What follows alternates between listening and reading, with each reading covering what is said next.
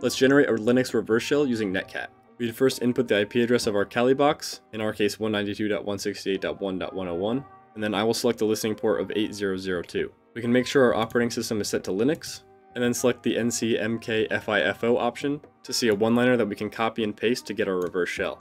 Unlike bind shells, this time we have to set up our listener first on our Kali machine by typing nc-lvnp and then the port that we wanted to listen on, in our case 8002, and hit enter.